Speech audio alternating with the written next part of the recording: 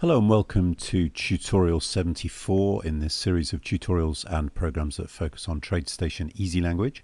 And a member of this list asked me a question uh, about tutorial 71 and um, he wondered how would it be possible if certain events occurred to make the strategy pause for a period of time. Well, actually, we don't need to make the strategy itself pause, but what we probably do want to do is restrict its ability to get into new trades if certain things occur for a certain number of minutes. So what I've done in this tutorial is said if we get two sequential losing trades, so you can see here on the chart, we've got two losing trades, then we take a pause, which you can see is indicated by these red dots, for a certain number of minutes before the program would then potentially start taking trades again.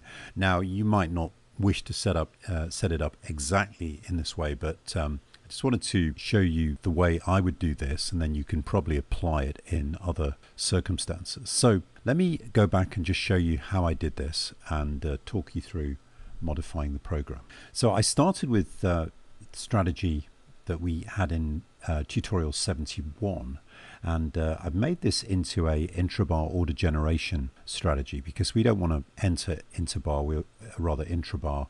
We want to enter the, the following bar if conditions exist.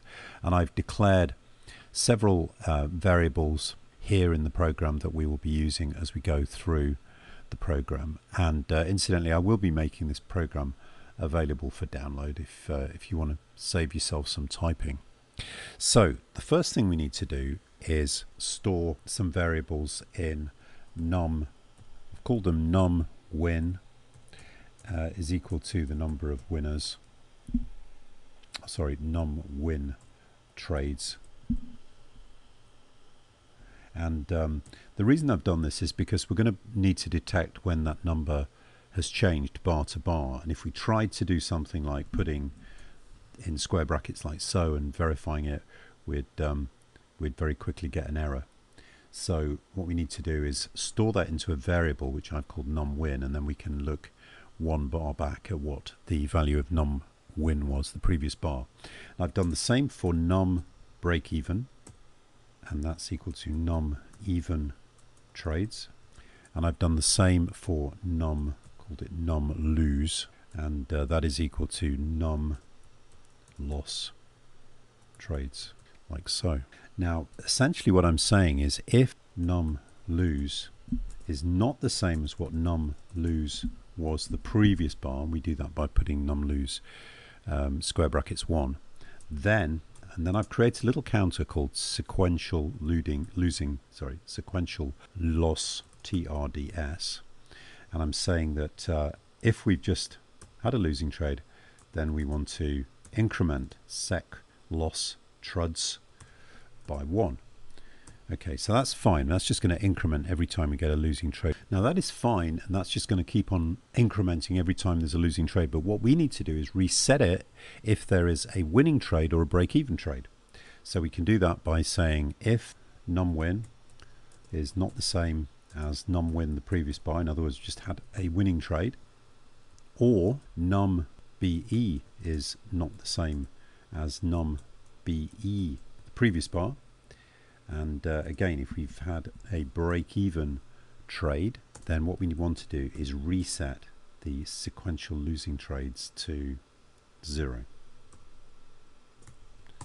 Like so. Okay, so we're now keeping track of our losing trades. And um, what we want to do is if this sequential losing trades gets to a certain number, we're just going to call it 2, and I'll show you in a moment how you could make this into an input uh, which is very straightforward. But if sec loss truds equals 2, now we're going to use something um, called pause, and um, explain that in a moment, but we need it to be equal to false at this point.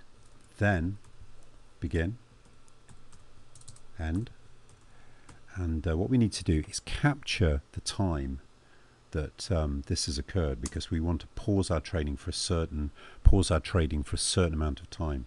So I'm going to um, set another variable called pause end time, and that is going to be equal to now with uh, adding time to a or rather adding a number of minutes to a time, we can't just add it, can't just say t plus a number because time is uh, doesn't work in the sort of decimal way that normal numbers do.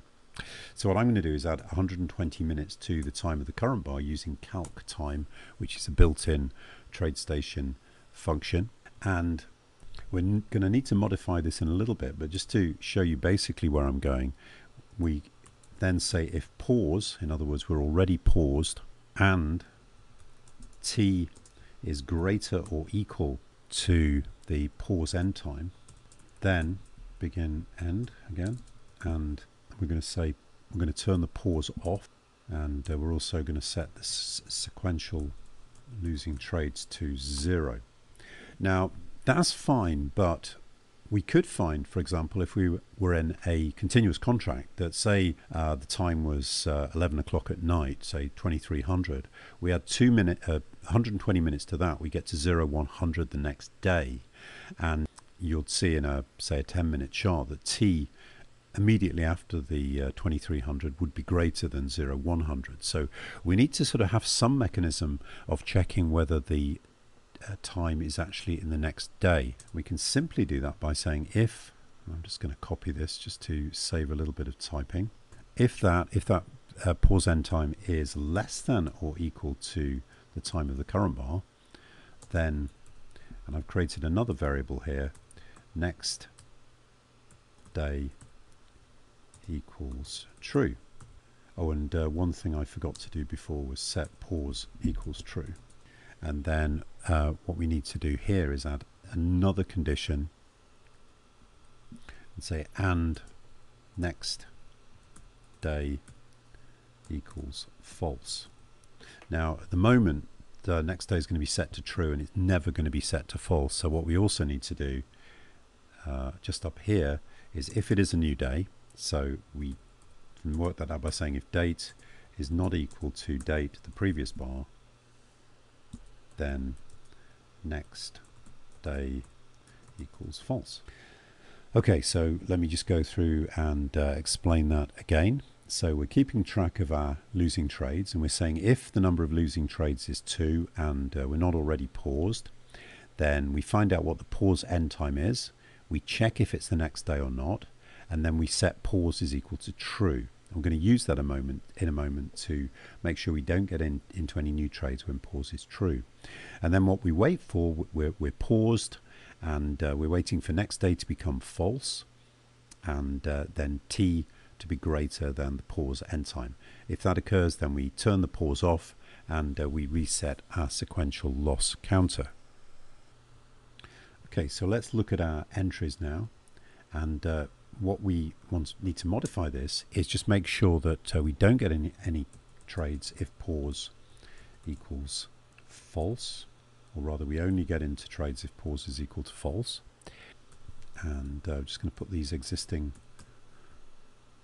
market orders in a begin end statement. Like so. Now one of the things that I always like to do at least uh, when I'm debugging a program, is create a little sort of visual cue as to what is going on. So what we could do here is add additionally, um, if pause, then, and I just want to put a little red asterisk on the bars where we're paused, just so that we can see what's happening. So we're going to do that by saying begin and uh, value 2 is equal to text new date time low just going to draw an asterisk using the text new TradeStation reserved word and text set color. So we want to make it red so it just stands out a little bit. The reference is value 2 and uh, we're going to make that red like so. And uh, furthermore what I want to do is just see a little counter. So when the uh, the pause is equal to false I just want to see a counter of the uh, sec loss trades truds and uh, we can do that by going value 1 equals again text new date time low. And then we want to put in a number here and we can't use a number in the text new function so we need to use num to str. Put in the uh, the value like so to zero decimal places need two round brackets there. And I think we're done. So I'm just going to try and verify that, make sure we don't have any, okay, we've got one errors because we put in an incorrect square bracket there. It should be uh, D open square brackets 1 close square brackets. I'm going to try it again, F3, and uh, let's go and look at the chart and see if that is working as it was before. Okay, so we can see here we get into a losing trade and you can see the counter has gone to 1 as it should. Then we get into another losing trade and at this point we start uh, the pause so we can't get into any new trades for this period of time here indicated in the red dots and then we get into uh, a new trade later on. And you can see here that uh, we have a, a, losing trade, so the sequential counter goes to 1, but then we have a winning trade, so it goes back to 0. So that seems to be working as, uh, as we wanted it to. Now, in terms of just improving this a little bit, one of the things you could do is you might not want to hard code the uh, sequential trades to be equal to 2. You might want to make that an input. If we wanted to do that, we could just change it. Instead of 2, we'd say something like max sec threads, like so. And uh, we would then copy that, move it up into the inputs, and change that to 2. And just verify that again. And uh, if we go back to the chart, we should see uh, it functioning exactly as it was before, but we've just changed now a, uh, a, number that was built into the program into a an input. And of course, you could do that also with the number of minutes as well. So anyway, I hope you might find this useful. Uh, I will make it available on the site. And one thing just to, to bear in mind about uh, this strategy at the moment, it doesn't have any entry bar protection on those uh, stops and trailing stops. And that's something that uh, we may look at in a future tutorial. So thank you very much for your attention.